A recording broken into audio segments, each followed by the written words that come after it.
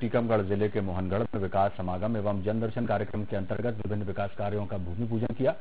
कार्यक्रम में सीएम शिवराज समेत लोक निर्माण विभाग के मंत्री और अन्य गणमान्य जनप्रतिनिधियों ने हिस्सा लिया। सीएम ने कहा कि प्रत्येक महीने की सात तारीख को अन्नोत्सव कार्यक्रम करके गरीबों को राशन का वितरण किया जाएगा। हमारी सरकार गरीबों के कल्याण के लिए प्रतिबद्ध है। विकास समागम एवं जनदर्शन कार्यक्रम में सीएम ने कहा कि हम पुनः सर्वे करवा रहे हैं और जो गरीब कच्चे मकान में रह रहे हैं उनका नाम सूची में जोड़कर उनके लिए पक्का मकान बनवाया जाएगा।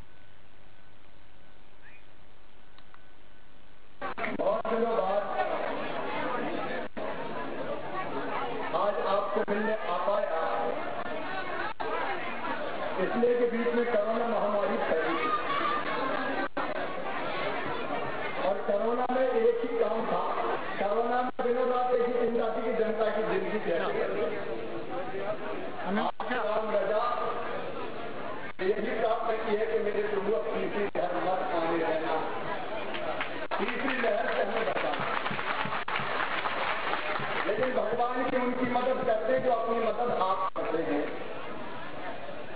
और इससे तीसरी लहर से बचने के लिए टीका लगवाना ज़रूरी है। टीका वैक्सीन लगवाना ज़रूरी है।